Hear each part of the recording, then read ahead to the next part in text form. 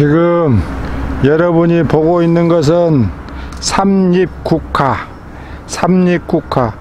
옛날에 시골에서 담장이나 장독대 장독대만 심어놓은 꽃이에요.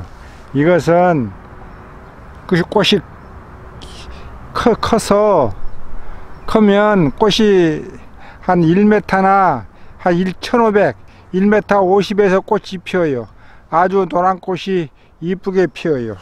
이것은 나물로 이용하고 향이, 향이 나는 웰빙 음식이에요. 시금치와 이것이 어릴 때 삶아서 먹으면 시금치와 맛이 비슷해요. 이것은 철분, 칼슘이 많이 함유되어 있어요. 면역력 높여주어 감기 예방하고 이뇨작용, 신진대사를 원활하게 해줘요. 어린이들이 이걸 먹으면 좋다네요. 골다공증 예방, 면역력 향상, 변비 예방. 입은 쌈 싸먹고 된장국에 넣어서 먹는다.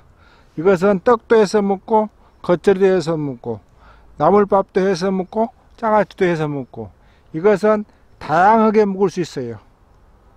장아찌, 된장국, 쌈 싸먹고 떡도 해먹고 겉절도 해먹고 나물밥도 해먹고 장아찌도 해먹고 이렇게 삼립 국화같이 다양하게 음식을 해먹는 것은 극히 없는 것 같아요.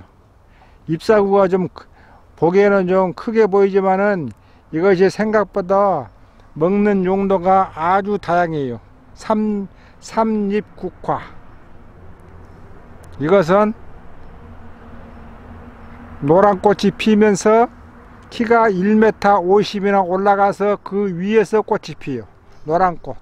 옛날 시골에서는 장독대나 장독대나 담 밑에 이런 것을 많이 심었었어요.